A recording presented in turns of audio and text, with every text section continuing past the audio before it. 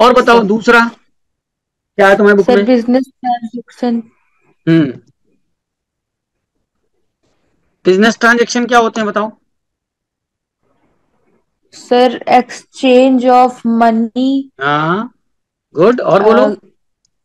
And and services good exchange of money and services यानी day to day activity with money ऐसी activities जो business में रेज रोज होती हैं है ना?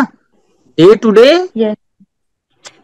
business activity with money business में ऐसा काम हो रहा हो जो रोज हो रहा है और उसमें क्या इन्वॉल्व है? बताओ क्या इन्वॉल्व है? पैसा। ऐसे अगर पैसे इन्वॉल्व नहीं है तो वो एक ट्रांजेक्शन नहीं होगा। एग्ज़ाम्पल क्या हुआ? परचेज एंड सेल्स परचेज मतलब खरीदना और सेल्स मतलब बेचना। बेचना। वेरी गुड तो बिज़नेस ट्रांजेक्शन का मतलब समझ में आया? बिज़नेस में होने वाली रोज की एक्टिविटीज़ जिसमें कुछ खरीदा कुछ बेचा जाता है या कुछ भी किया जाता है जिसमें पैसा आता है या जाता है। इलेक्ट्रिसिटी का बिल जमा किया।